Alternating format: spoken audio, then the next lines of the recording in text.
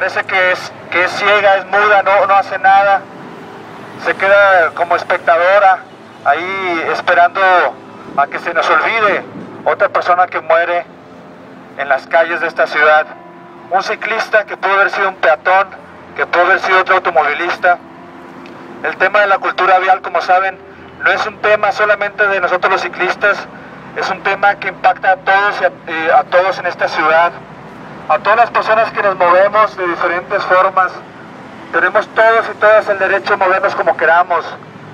caminando, en bicicleta, las personas que tienen sillas de ruedas, las personas que usan el transporte público, los automovilistas, los motociclistas. Todos y todas tenemos el mismo derecho a movernos en esta ciudad, pero sobre todo las personas que se mueven con sus pies, caminando en bicicleta, tenemos prioridad en el espacio público y la autoridad no hace valer esto por el tipo de infraestructura que vemos en estas calles, que parecen autopistas. Toda la ciudad la quieren convertir en una gran autopista